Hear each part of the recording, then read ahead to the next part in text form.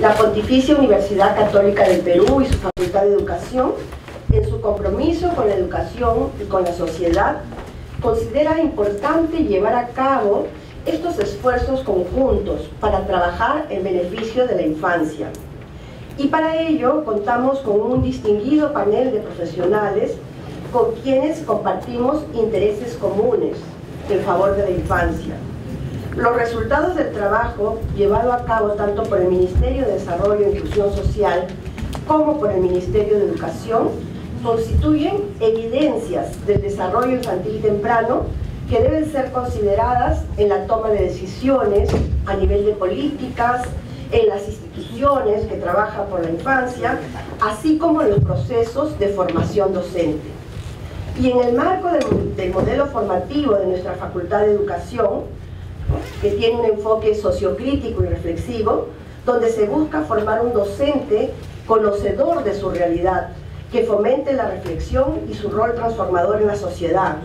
Los resultados de estas, de estas evaluaciones son insumos valiosos para el trabajo con base en experiencias y resultados concretos para trabajar, para atender las necesidades y las demandas de los niños y las niñas de nuestro país. Esperamos que las exposiciones, los comentarios y preguntas generen la reflexión sobre la situación actual de la infancia y que contribuyan para el desarrollo, ¿no? para el acercamiento a la realidad educativa, como ya hemos mencionado, para la toma de decisiones en diferentes sectores y ámbitos donde trabajamos con la infancia. Vamos a dar inicio a esta presentación con las palabras de la doctora Ayela Luna Flores. Ella es médico, magíster en salud pública por la Universidad Peruana Cayetano Heredia, es consultora internacional, es docente de la maestría en gestión de políticas y programas para el desarrollo infantil de la Pontificia Universidad Católica del Perú y viceministra de Políticas y Evaluación Social del Ministerio de Desarrollo e Inclusión Social. Ella eh, nos va a presentar las iniciativas del país para el desarrollo infantil temprano. La dejo en Muchas gracias. Eh, esa lámina empieza en 2013, pero en realidad la historia empieza antes. En 2008 eh, se decide hacer presupuesto por resultados y se plantea reducir la desnutrición crónica en el Perú. Y en 2008 se crea el presupuesto por resultados y el motivo de la creación es la infancia. Si ustedes leen la, exposición de motivos de la ley del presupuesto del 2008, vale la pena leerla porque es todo un capítulo dedicado a la infancia, en la ley del presupuesto. Y ahí se ponen metas y se ponen resultados. La ley de presupuesto crea cinco programas presupuestales iniciales. Salud materna, infantil, salud materna, para que los niños tengan buen parto o buen embarazo. Eh, el, programa articulado nutricional, que tiene que ver directamente con reducción de la nutrición crónica. El tercero fue acceso a la identidad, que tuvo un fuerte componente en niños. El cuarto fue acceso al PELA, a, la educación inicial y a toda, después a la primaria y el quinto fue un programa presupuestal que hoy ya no existe, pero que trataba de hacer carreteras, etcétera, para aligerar si había alguna emergencia, etcétera, en niños o mujeres. Entonces la infancia da motivo a esto y, esa, esa decisión fue antes todavía, en 2005, iniciada por un grupo de gente, eh, mucha seguramente está acá, que persiguieron lo que se llamaron las 11 acciones prioritarias por infancia. Esas 11 acciones prioritarias por infancia entraron a la ley de endeudamiento y después a la ley de presupuesto se crea PPR. 2008 al 2013 se evalúa y eh, se ve que el Perú es uno de los países que más rápido ha bajado de nutrición crónica infantil en el mundo. De nutrición crónica infantil es retardo del crecimiento, baja talla para la edad. El 2013 ya dijimos vamos a pasar de la nutrición crónica al desarrollo infantil temprano y se crea la comisión multisectorial eh, que va a hacer los lineamientos de DIT en base a una resolución suprema. Sí, varias personas estuvieron en esa comisión en diferentes roles. Hoy están este, acá, muchas de ellas. Y esa comisión fue constituida por 11 sectores. Estaba economía, estaba transporte, estaba vivienda, educación, salud. Ese creo que fue un hito importante porque ya no es lo clásico, ¿no? Salud, educación son los que ven a mí, o mí ya se abrieron otros sectores más de servicios, de acceso a servicios, etc. Se crea la comisión, el 14 se termina el, documento que, digamos, eh, define y diseña los lineamientos del DIC y se presenta el informe a en 2014 el documento de los lineamientos DIC. Por extrañas razones ese documento duerme ahí dos años y en 2016, el 28 de julio, se aprueba, pero igual está aprobado con un decreto supremo. Y además, en la ley de presupuesto del 2014 se crea el Fondo de Estímulo para el Desempeño con una mirada también de infancia. El Fondo de Estímulo para el Desempeño es un mecanismo de incentivo regional que ayuda a conseguir los resultados en el DIT. En 2015 se crea el sello municipal, que también es un mecanismo de incentivo que tuvo mucho énfasis en la infancia. Recuerdo ahí, ahora que la veo a Patti, el tema de los juegos infantiles. Cuando hicimos este tema, eh, dijimos vamos a poner un indicador que sea para que los alcaldes hagan juegos al aire libre. Los, ustedes que han viajado por las zonas rurales han visto que no hay muchos juegos al aire libre.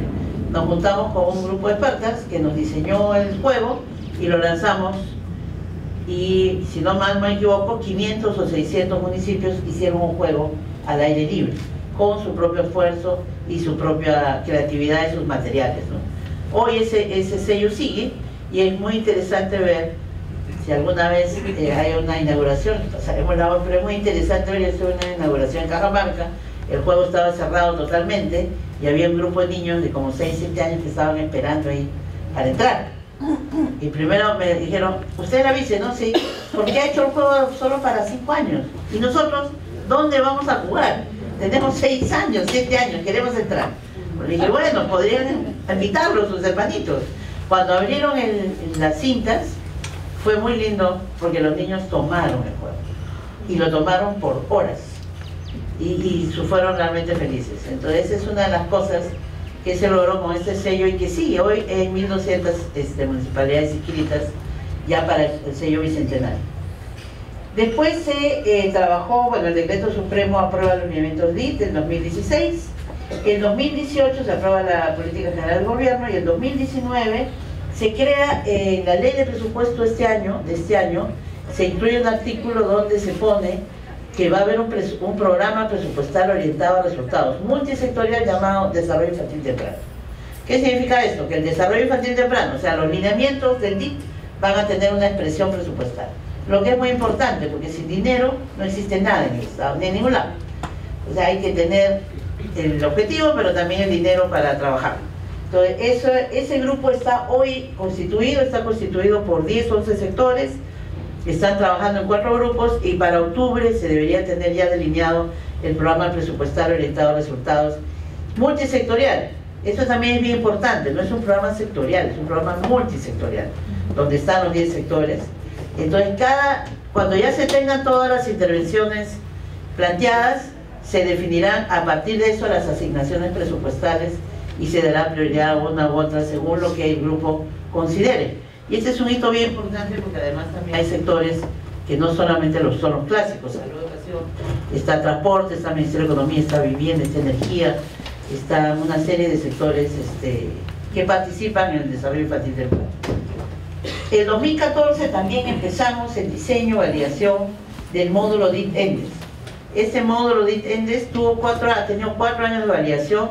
Lo hicimos con mucha gente de la Católica, de la Facultad de Educación, que nos acompañaron en la validación. Lo empezamos con Patti, con Quique, que ahora están acá. La vida da vueltas y uno otra vez regresa a esta cosa de la infancia. Es difícil que te dejen, ¿no? Ahí te, agarra y ya no te deja.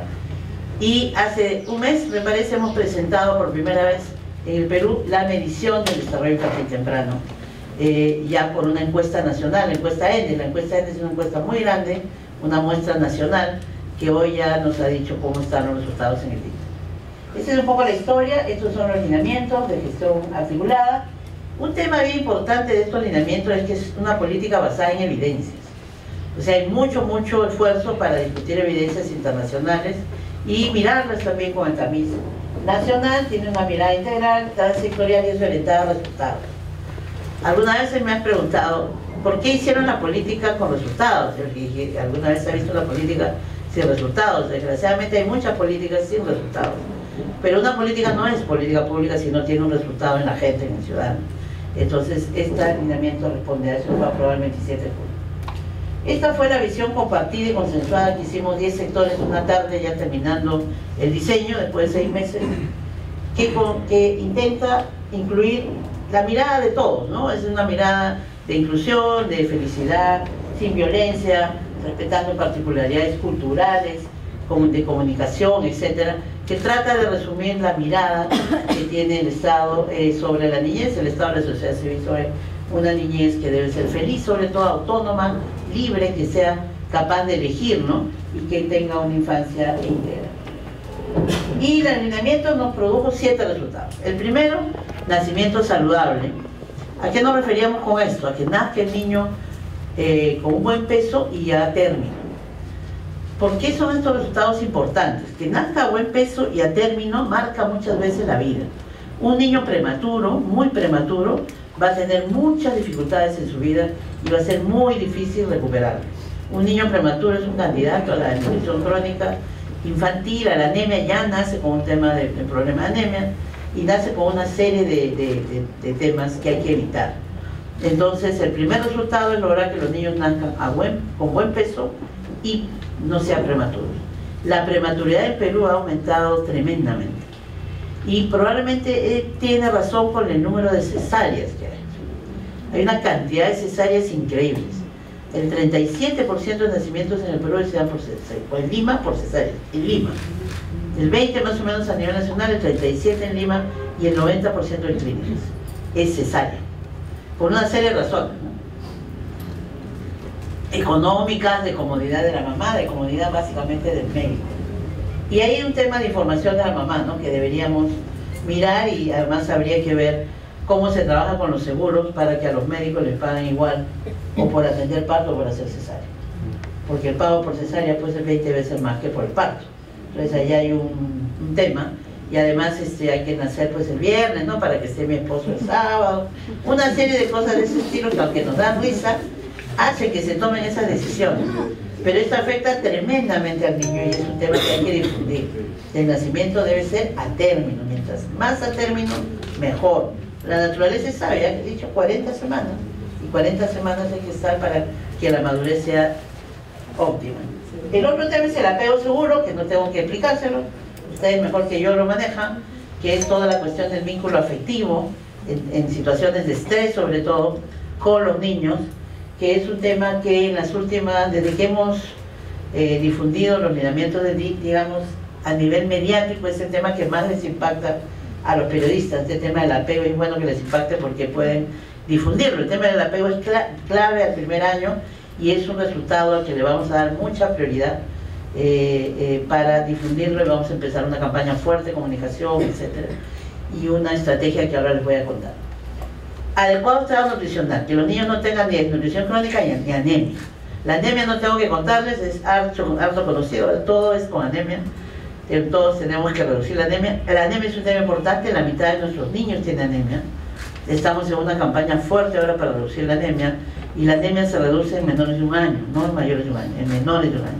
A los cuatro meses hay que trabajar con ellos para darles su hierro y su lactancia materna exclusiva. La lactancia materna exclusiva ha disminuido mucho también sobre todo en ciudades como Lima.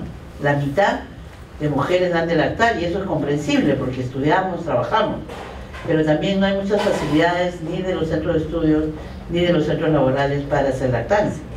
Hacer una lactancia, sacarse la leche, dejarla en la casa, eh, refrigerarla, que le den, porque la lactancia no es solamente lactancia materna con la madre presente, puede ser también que la mujer deje la leche. Hace toda una complicación, pero creo que tenemos que ponernos ahí muy fuertes para tratar de convencer y dar las facilidades a las mujeres para que puedan hacer esto. La lactancia materna es invalorable, es gratis y tiene todos los anticuerpos que debe tener un niño y, que le va a servir a futuro. sin quitarle la lactancia materna por lo menos seis meses es un tema bien complicado. Estaba leyendo un artículo en Noruega, por ejemplo, que están cuantificando las pérdidas que tendrían por la no lactancia y cuantificando las pérdidas en la edad adulta ya. Porque la lactancia materna sí va a tener un efecto súper, súper bueno sobre el niño y desgraciadamente estamos en zonas urbanas solo la mitad. El otro tema es la, anemia, la nutrición crónica infantil, que tiene que ver más con la subida de peso. En eso estamos más o menos bien, hemos bajado a 12 y estamos planificando llegar a 9. El tema es en lo rural que todavía hay una brecha. ¿no? Cuarto resultado, eh, Camina Solo, que es claro, ahora está en toda una discusión, creo que se cambió el nombre ya y es Camina Autónomamente, Marcha Autónomamente, Marcha Estable y Autónoma, son dos discusiones que, hay ahorita en el grupo y es siempre a los 18 meses. ¿no? que el niño marche estable y autónomo a los 18 meses. Ya ese es un consenso. Este fue el indicador más complicado de consensuar cuando diseñamos los lineamientos, ¿no? muy complicado de consensuar, sobre todo con educación, fue de meses. Finalmente se consensuó la edad. Patti estaba del lado del medio, no estaba del lado de educación. Pero bueno, así se construyen las buenas cosas, ¿no? Ya este indicador es estable y es reconocido y legítimo por los dos lados. Quinto indicador, comunicación efectiva, que tiene que ver con vocabulario, ¿no? De ida y vuelta, una edad adecuada, y esto se mide a los 24 meses, y a los 36 meses, 36 meses. Y el tema de regulación de emociones y función simbólica, aún eh, tiene que ver ya con todo el tema de abstracción y representación del niño y eh, toda la regulación de sus, de sus emociones, ¿no? Entonces, estos son los siete resultados hoy del niño, y el Perú quiere ver hoy a los niños así. O sea, el niño ya no es el peso y la talla solamente, el niño es un cúmulo de resultados que hay que lograr en él y hay que lograr los siete, no solo uno. ¿No? Eso es bien importante, creo, en la lógica y además estamos pasando de un énfasis válido, pero muy fuerte en la anemia, al desarrollo integral del niño. Eh, entonces, eh, para eso estamos eh, diseñando y vamos a lanzar muy próximamente esta campaña que se llama Primero en Infancia, porque ya el Perú ha desarrollado todos los QES, ya están los QES, está el alineamiento, está el presupuesto por resultados, y ahora hay que trabajar en la vida real, hay que hacer que esto viva en la vida real. Entonces hemos eh, diseñado primero la infancia, que es una estrategia multisectorial, que lo que quiere hacer es articular tanto intersectorialmente como intragubernamentalmente el acceso de los niños a un paquete de servicios que ahora lo voy a plantear y que tiene que ver con cada uno de los resultados del DIT. Entonces, alinea las intervenciones del Estado. Lo vamos a lanzar prioritariamente en el quintil 1 y 2 del país, 1.224 distritos de los quintiles 1 y 2, que son los quintiles más pobres, y con especial influencia en zonas como Corredor Minero, Amazonía, etcétera, que son ámbitos que estamos trabajando fuertemente. Este es el paquete que vamos a, a trabajar, ya lo estamos trabajando hace algún tiempo, se va a seguir reforzando y la apuesta es que todo niño o niña peruana accede a este paquete. El paquete 1, que tiene que ver con bajo peso y prematuridad, lo que está buscando es que la atención prenatal se dé en el primer trimestre y en el primer trimestre se den cuatro exámenes auxiliares. Se detecte sífilis, VIH, orina, e infección urinaria y anemia. ¿Sí? Aquí, en el primer trimestre. Y haya cuatro atenciones prenatales con suplemento de hierro. ¿Para qué es esto? Este paquete evita la prematuridad. La principal causa de prematuridad es infección urinaria. Entonces está dedicado a esto. parece muy simple de lograr, pero es bien complicado. La medición se hace en una sola persona todo el paquete. No es II, sino tiene que ser II y no OI. Segundo paquete, los niños deben tener su CRED completo para la edad, todos los meses deben ir al establecimiento de salud, después que nace todos los meses a ver su desarrollo, si crecen si aumenta su peso, su talla, ver cómo está su desarrollo en el establecimiento. Su vacuna de rotavirus y neumococo, ¿por qué rotavirus y neumococo? Porque esto tiene que ver con diarrea y neumonía. Suplemento de hierro para anemia, si tienen anemia, recibir tratamiento y si no tienen anemia, hacer su suplementación y que tengan su documento de identidad. Y aquí falta eh, el acompañamiento familiar, que es la intervención que hace, tanto con AMAS como educación, y como, no sé si MIM hace esto, que son consejerías semanales en las casas a las mamás para el tema de desarrollo. O sea, esa intervención ya existe en el Perú y el acompañamiento familiar tiene que ver con comunicación verbal, con camina, camina marcha estable, etc. El otro tema es, todo esto está bien, pero tienen que entrar a los tres años a la educación inicial. Ya hay investigaciones también que dicen que la entrada a los tres años es la correcta y tienen que vivir en una casa con acceso a agua clorada. Si trabajamos este paquete y accedemos a este paquete, todos los niños y niñas, vamos, la apuesta es mejorar los resultados en todo el DIT. Acá está resultado 1, resultado 3, resultado 2, que está apego, regulación de emociones con acompañamiento familiar, todos los resultados de desarrollo, educación y entorno. Algunos ah, resultados ya de estos paquetes, ¿no? Este eh, primer paquete estaba el 25% en 2017, ahora estamos en 34%. Entiendan bien que estos paquetes se miden en quintil 1 y 2 de zonas rurales, o sea, las zonas más difíciles de conseguir. Paquete de niños de 19 a 40 hemos tenido importantes avances, pero no suficientes, y aquí, eh, aquí está en 31, disculpen, esta lámina no tiene, estaba en 31, está en 37, y acceso a educación inicial, si no me equivoco, está en 86, 92, 92 está bastante, ha crecido bastante. Eh, educación inicial, sí, el segundo ciclo. Segundo ciclo.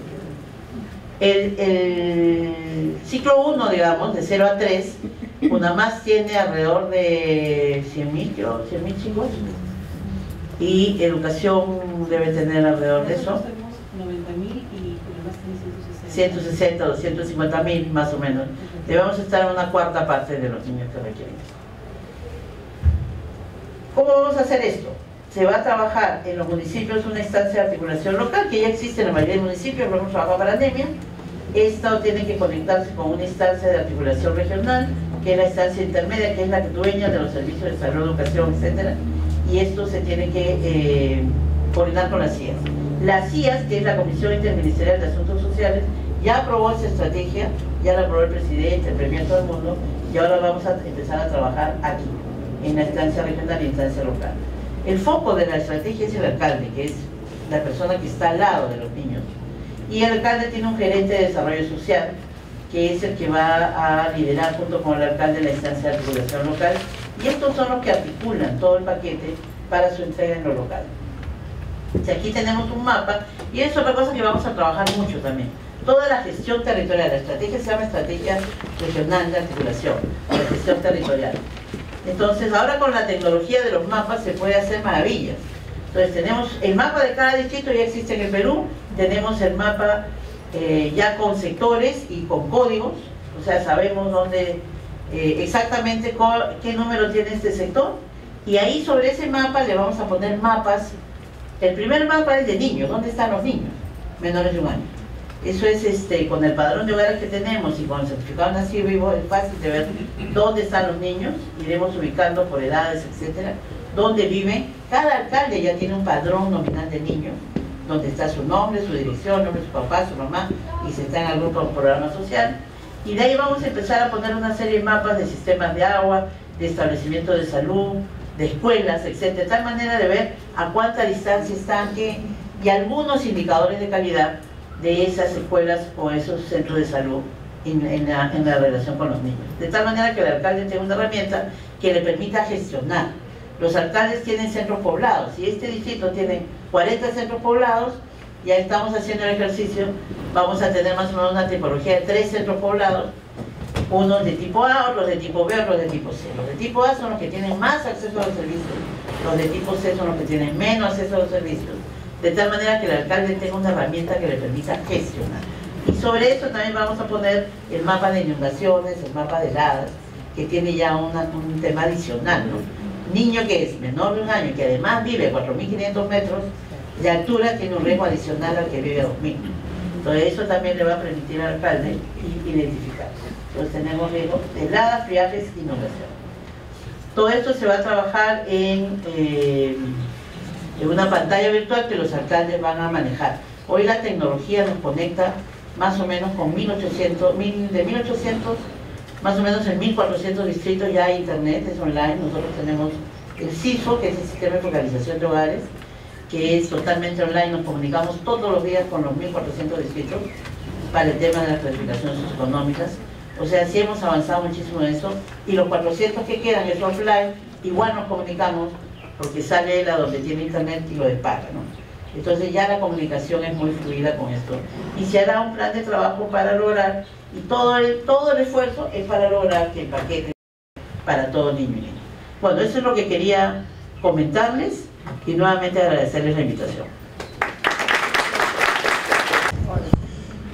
Eh, bueno, primero quiero este, agradecer eh, a la universidad por eh, la invitación, a la Facultad de Educación por no solamente por mostrar interés en coorganizar este, este evento, sino también porque creemos que eventos de este tipo no solamente permiten transmitir resultados como los que vamos a ver hoy, sino también gradualmente ir incorporando desde la academia eh, resultados que podrían generar cambios en las políticas eh, nacionales.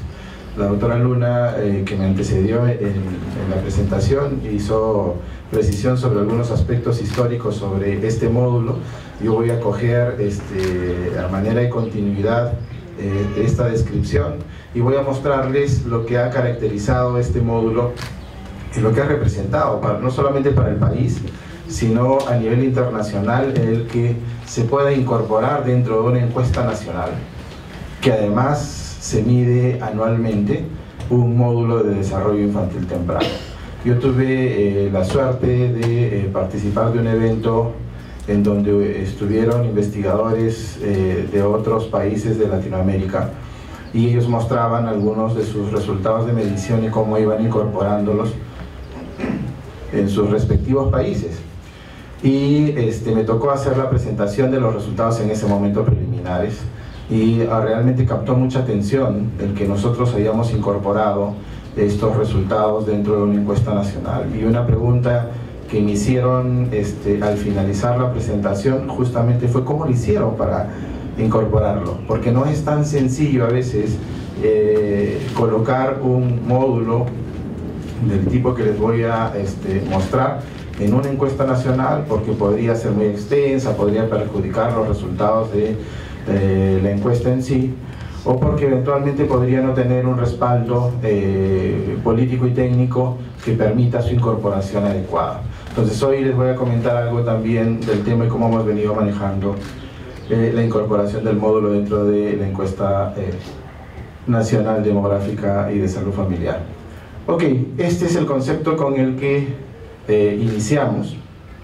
Y yo lo he traído, Ariela lo, comentaba este, muy bien, pero yo quiero resaltar de este concepto que además está presente en los lineamientos, algunos términos que nos ha servido a nosotros eh, mucho para poder no solamente posicionar el tema de desarrollo infantil temprano, sino también llevar un instrumento como el que este, les vamos a mostrar los resultados a eh, a la incorporación de una encuesta. Primero, que es un proceso progresivo y naturalmente en esa línea, con una encuesta que además tiene como población objetivo eh, la población eh, de mujeres de edad fértil y sus niños inicialmente menores de 5 años y es ahí donde tuvimos una, un primer reto, cómo ampliar a niños que además este, ya tuvieran 5 años y antes de eh, que cumplan los 6 años que es multidimensional, que es integral ¿de acuerdo? y oportuno. Y estos eh, tres puntos sirvieron para que además nosotros comentáramos en el marco de la encuesta ENDES que existen algunos factores que además se han venido midiendo y que pudieran favorecer es el, también la representación de estos puntos. Entonces ya dos resultados que se venían midiendo, que es el resultado 1, que es eh, el nacimiento adecuado, y el resultado 3, que es eh, el adecuado estado nutricional, y el reto era incorporar los otros cinco resultados en función a los lineamientos. La construcción de capacidades cada vez más complejas, el hecho de hacer a los niños eh, o el hecho de que ellos traduzcan esta, estas capacidades en competencias y logren una mayor autonomía, además le daba a la encuesta ENDES una posibilidad adicional en la medición que ya tenía en sus indicadores. Y claro, lo primero que nos preguntaron es, ¿y eso cuánto va a demorar?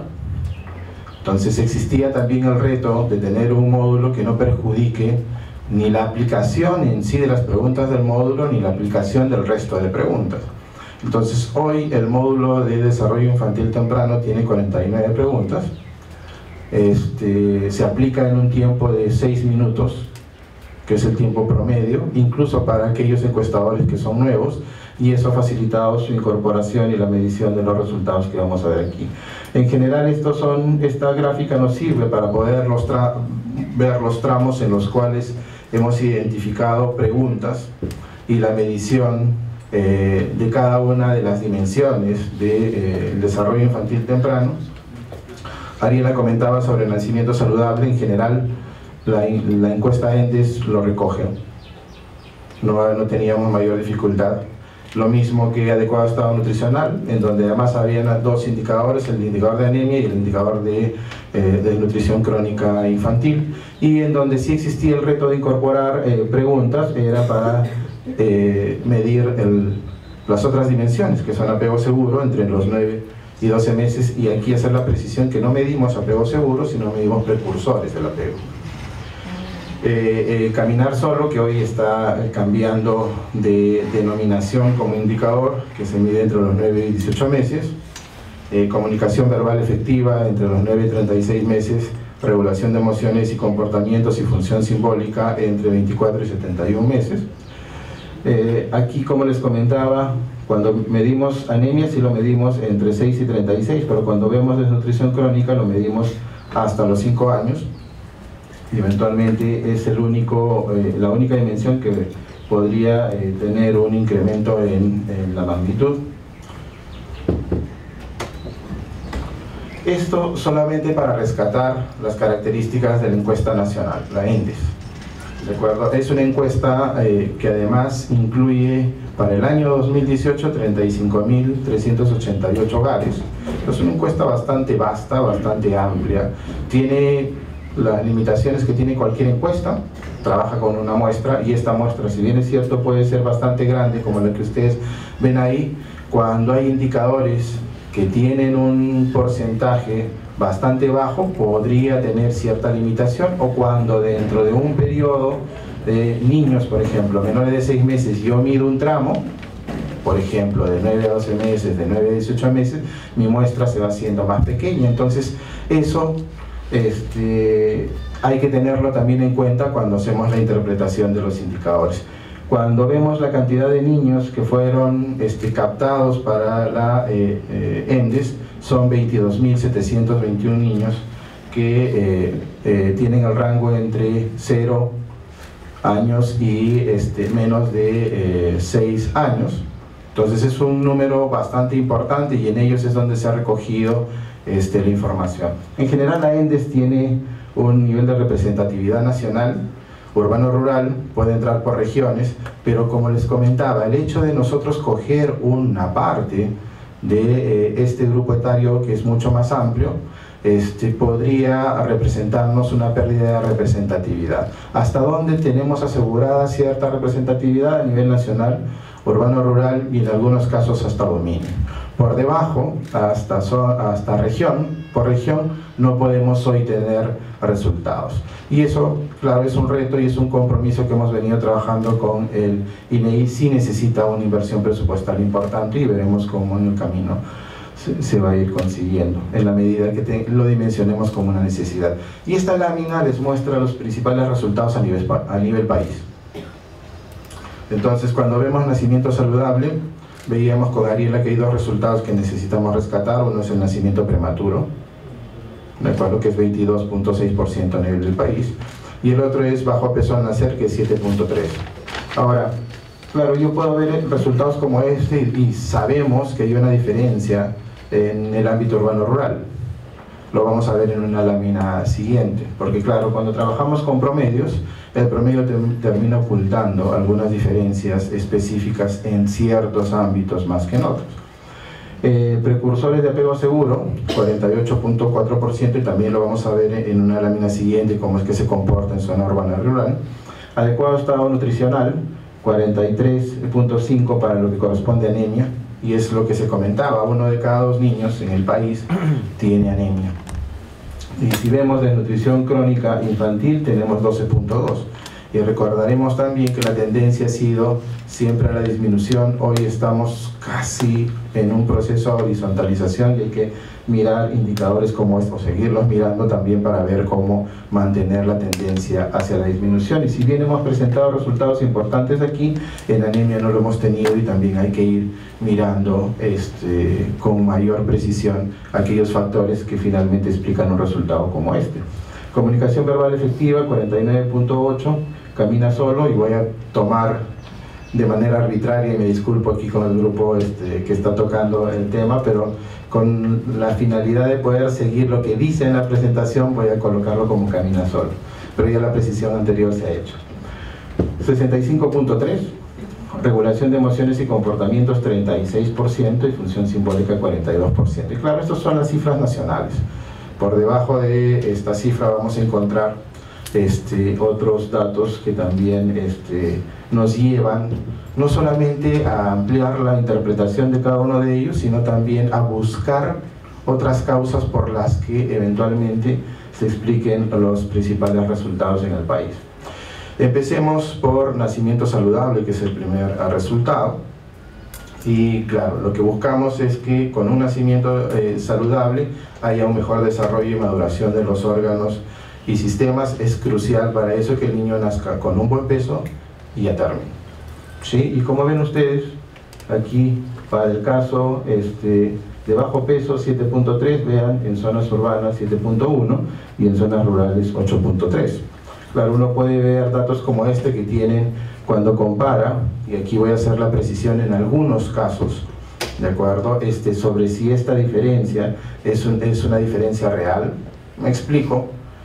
Este, yo puedo ver una diferencia como esta, pero realmente las muestras con las que estoy trabajando de pronto no me permiten realmente especificar una, una diferencia que sea estadística. En este caso sí lo es, ¿de acuerdo? Pero en otros indicadores con una muestra más pequeña esa diferencia podría no ser real. Pero sí una diferencia entre la zona urbana y rural para el caso de bajo peso al nacer. En prematuridad veamos zona urbana 25.7, zona rural 13.8 y aquí hay varios aspectos que hay que analizar. Se comentaba anteriormente el tema de cesárea, es un aspecto que hay que tenerlo en cuenta. El otro es en qué momento llega la gestante a eh, la atención en salud y si realmente tiene acceso a los servicios que debería acceder en ese primer trimestre que es, que es crucial. Hay un tema adicional aquí que tiene que ver con este, tanto con prematuridad como con bajo, peso al nacer y es que las condiciones que se pueden identificar en el primer trimestre de gestación, que es el periodo en el que deberíamos captar a la gestante, muchas de ellas no dan síntomas. Anemia es una, la infección urinaria son asintomáticas en el periodo gestacional, entonces es crucial que lleguen en un momento determinado para poder hacer el diagnóstico correspondiente y esas eventualmente junto con cesárea podrían ser algunas de las eh, razones por las cuales existe esta diferencia para un indicador como prematuridad. Vemos eh, que también hay una diferencia cuando vemos, eh, valga la redundancia, regiones naturales. Vemos aquí Lima Metropolitana, vemos lo que corresponde al resto de costa, en Sierra y Selva eh, los valores son más altos. En el caso de prematuridad, más, la tendencia más bien es al revés. Tenemos mayores valores en Lima Metropolitana, luego le sigue el resto de costa, Sierra, Selva y podemos discutir alrededor de los aspectos que hemos eh, venido comentando y vamos a encontrar probablemente que algunos explican claramente esta eh, tendencia. Si vamos al segundo resultado que es apego seguro, la descripción ya se hizo, que es básicamente el vínculo afectivo que establecen los niños y las niñas con sus eh, padres o sus cuidadores principales, podemos ver el valor nacional que ya lo hemos descrito y cuando hacemos la separación urbano-rural, vemos que no hay una diferencia estadísticamente significativa, si bien es cierto de manera puntual, en zona urbana tenemos 48.6 y en zona rural tenemos 48.1. Si este, seguimos desagregando hasta, nos, hasta donde pueda permitirnos la información, vamos a ver que cuando eh, separamos la información por sexo, en el caso de este, las mujeres, existe este indicador que es el porcentaje de niñas de 9 a 12 meses que tienen una adecuada interacción madre-hija como precursor de apego seguro. Entonces en niñas el porcentaje es más alto que en niños. Si nosotros vemos en este, las regiones naturales, vamos a ver que en Lima Metropolitana el porcentaje es más bajo que en el resto de la costa, que en la sierra y este, en la selva. Y claro, ahí vamos a encontrar algunos aspectos que también son este, temas relacionados con la interculturalidad, pero esto desecha a veces algunas percepciones que tenemos de que todo indicador de eh, desarrollo infantil, de salud, de educación en zonas urbanas o en zonas este, periurbanas es mejor que en zonas rurales o en costa mejor que en sierra y en selva. Entonces habría que ver qué aspectos por detrás están relacionados al tema. Puede ser temas de tiempo, puede ser temas culturales, algunos los estamos analizando hoy en el marco de la encuesta, pero hay un compromiso todavía de completar esta información con información de registros administrativos. Y este es uno de los factores, por ejemplo, que nos llamó la atención. Cuando uno ve la adecuada interacción y hace este, una desagregación según si la madre responde al llanto del niño, de su niño o su niña, vamos a ver que 94 puntos de eh, las madres de aquellos que tienen una adecuada interacción responde al llanto de su niño. Si nosotros vemos en el grupo que no tiene una adecuada interacción, este valor es 91.1 y claro, yo puedo decir aquí si hay una diferencia, vamos a ver que eh, si esta diferencia nos permite concluir una, este, un riesgo. Entonces vemos que más allá de la diferencia que parece aumentar en 0.6 veces la posibilidad de una relación de seguridad entre la madre y el niño, este valor estadísticamente no es significativo. Podríamos ampliar la muestra y al ampliar la muestra esto podría tener una relación positiva o no, eso habría que este, discutirlo ya en el marco de la ampliación de la misma. Si nosotros vemos adecuado estado nutricional, en general yo voy a pasar rápido este resultado, resaltando que hay una diferencia importante entre lo que corresponde a zona rural y zona urbana, tanto para lo que, eh, es anemia como para lo que es nutrición crónica infantil. Y cuando vemos por este, eh, lugares naturales, vamos a ver que los porcentajes más bajos están en Lima Metropolitana, el resto de costa, en Sierra y Selva los porcentajes van a ser más altos, sobre todo en anemia. En eh, de nutrición crónica infantil también son altos, pero el porcentaje, como es de por sí en promedio, es bastante por encima este, de lo deseable, pareciera ser que están muy cerca entre sí, ¿de acuerdo? Pero sí existe una diferencia real, por ejemplo, entre los valores de Sierra, Costa y Lima Metropolitana.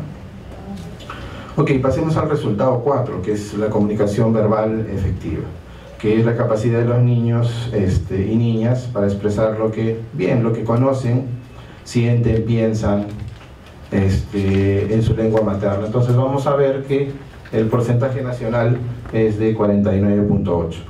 Cuando pasamos a la diferencia urbana y rural, vamos a ver que hay una diferencia casi de tres puntos, pero que esta diferencia en sí no es una diferencia estadísticamente significativa. El mismo, la misma conclusión que en un indicador anterior. Necesitaríamos ampliar la muestra para ver si realmente hay una diferencia entre ambos.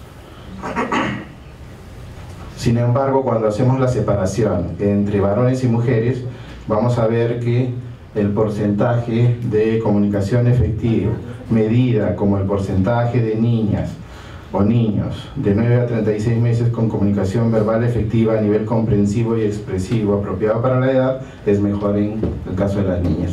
Y esta diferencia sí es estadísticamente significativa. Cuando vemos en zona, en regiones naturales, realmente no hay una tendencia marcada, hay este, un incremento en el resto de costa, pero hay una disminución en la sierra y un incremento luego en la selva. También nos llamó la atención algunos resultados adicionales, que esto no lo pudimos este, apreciar en, durante la presentación de la encuesta. Cuando uno ve si tiene comunicación verbal efectiva y la madre conversa con su hijo, ¿de acuerdo? Vamos a ver que es 86%, y cuando no tiene una comunicación verbal efectiva y preguntamos si la madre conversa con su niño, 78.6. Entonces, ya pasamos a hacer el cálculo estadístico, resulta que podemos identificar que la capacidad de verbalizar del niño o niña aumenta en 0.7 veces la posibilidad eh, de que logre una comunicación verbal efectiva. Y este, eh, esta cifra o este indicador es estadísticamente significativo. Si nosotros vemos un indicador parecido, que es para el caso de los niños de 19 a 36 meses, si participan o no en las conversaciones entre adultos, vamos a ver, por ejemplo, que es 62% para el caso de los que tienen comunicación verbal efectiva y es 27% para los que no lo presentan. Y aquí hay una diferencia mucho mayor, esta diferencia le da un riesgo de 3.4 veces más la posibilidad que, eh, eh, bueno, en este caso no es un riesgo en sí, es un, un factor protector, que la niña o el niño logre una comunicación verbal efectiva cuando participa de la conversación con adultos. Si pasamos al resultado 5, que es camina solo, vamos a ver una diferencia también entre zonas urbanas y rurales, que es casi de 10%. Si nosotros vemos eh, si hay diferencia entre hombres y mujeres, no vamos a encontrar una diferencia mayor. Y en el caso de regiones naturales, sí hay una disminución bastante eh, significativa para lo que corresponde a Sierra. Aquí hay que indagar mucho más ver alrededor de qué aspecto es que está pasando este resultado. Y también, a la par de lo que hemos venido mirando anteriormente para los resultados, la disponibilidad de espacio físico para desplazarse libremente. Y aquí vamos a coger solamente un grupo etario que es de los 12 meses, aún con eh, la precisión de que hay un periodo en el cual yo busco esta, esta, este indicador entonces, si vemos, por ejemplo, de aquellos niños que eh, caminan por propia iniciativa sin detenerse y tienen un espacio físico para desplazarse libremente, vean, 93.7. De aquellos que no cumplen con el indicador, ¿cuántos tienen de este espacio? 71.8. Y en general nosotros vamos a ver que disponer de un espacio para desplazarse libremente aumenta en 4.9 veces la posibilidad de que el niño camine a esta edad y este, cuando vemos la disponibilidad de eh, este espacio para niños entre 13 a 18 meses, no encontramos aquí mayor diferencia. Por eso es que la separación eh, que hicimos anteriormente habría que obviamente indagar mucho más por detrás del tema. Si vemos regulación de emociones, eh, este, vamos a ver que la regulación de emociones en zonas rurales es mayor. Y aquí también hay una este, discusión sobre el tema este, porque es que regula mejor las emociones en zona rural. Cuando, cuando, hizo, cuando hubo la presentación del documento, este, la pregunta que había detrás era, ¿y en zona rural quizá al niño se le castiga y de pronto, este, eh, o en la zona urbana se le castiga, ¿de acuerdo? Y este valor es eh, distinto al de zona rural, o es al revés, Veamos si hay algo relacionado al castigo con este indicador. Cuando vemos entre varones y mujeres, podemos apreciar que el porcentaje de niños y niñas entre 24 y 71 meses que regula sus emociones es más alto entre las mujercitas que entre los varones.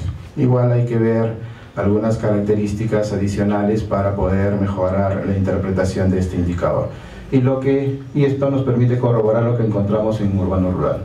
Veamos que en sierra como en selva el control de, eh, o la regulación de emociones y comportamientos es mejor aparentemente. Y claro, aquí está la respuesta de nuestra pregunta. Ejercer conductas de castigo tendrá alguna repercusión sobre lo que hemos venido encontrando. Y ok, cuando se regula emociones, ¿qué porcentaje de madres no ejercen castigo físico, 67.7. Y entre aquellos que no regulan emociones, ¿qué porcentaje ejerce castigo físico? 48.9. Entonces, realmente evitar el castigo físico más que este, otorgarlo aumenta la posibilidad de que la niña o el niño logre una adecuada regulación de emociones. Y aquí voy a pedir solo un permiso especial para poder finalizar con el último resultado, porque sé que estoy contra el tiempo. Cuando nosotros vemos eh, función simbólica como la capacidad de las niñas y los niños para representar sus vivencias y evocar en su mente objetos que no están presentes y acontecimientos pasados, nosotros vemos el valor nacional al lado del valor en zonas urbanas y en zonas rurales. En general, más allá de la diferencia que se presenta aquí, no hay una diferencia estadísticamente significativa y este, habría que ampliar la muestra para ver cómo es que se comporta el resultado o si se refuerza esta ausencia de diferencia. Pero sí hay una diferencia cuando vemos entre varones y mujeres. El porcentaje de niñas eh, en este grupo etario que representa sus vivencias a través del juego del dibujo es mejor que en el caso de los niños. En general no hay una tendencia clara dentro de las regiones naturales y aquí Veamos, ¿tendrá algún tipo de repercusión que en casa haya materiales de juego estructurados y no estructurados? Veamos. Para aquellos niños que representan las vivencias, sus vivencias de manera adecuada, 91.8 tienen en casa juegos estructurados y no estructurados. Y entre aquellos que no representan adecuadamente las vivencias, 80.9. En general, la disponibilidad de juegos en casa aumenta en 1.7 veces la posibilidad de que la niña o el niño logre una adecuada representación de sus vivencias. Con esta y una lámina siguiente cierro el tema. Hay algunas recomendaciones a partir de la aplicación del módulo DIP en encuesta.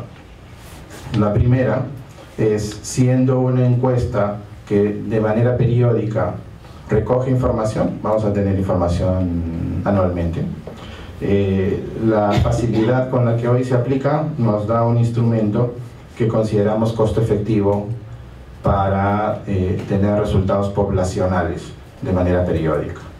Lo segundo es, hay que evaluar siempre la necesidad de tener eh, información hasta niveles menores, llámese regiones, de repente dentro de las regiones, en espacios urbanos, pese a que tenemos población rural cada vez este, menor, habría que, haber, eh, que tener la discusión, sin embargo, para ello.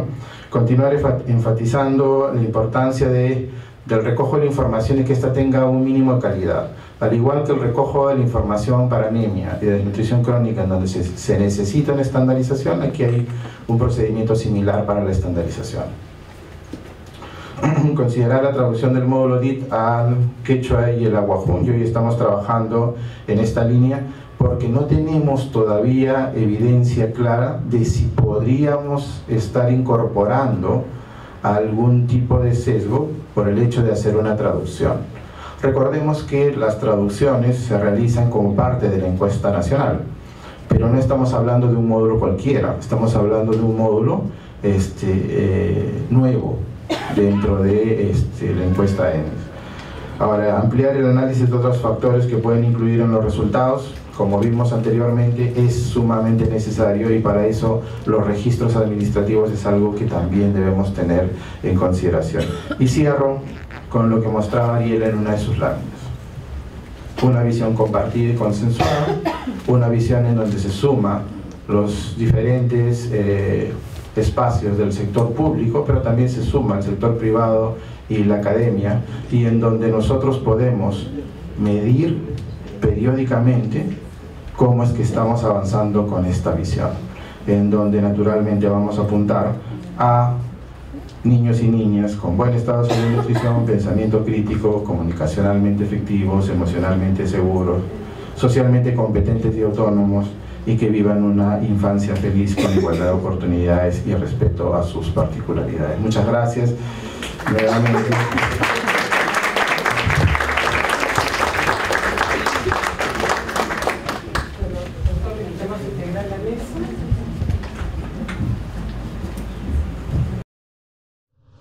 Ministerio de Desarrollo e Inclusión Social.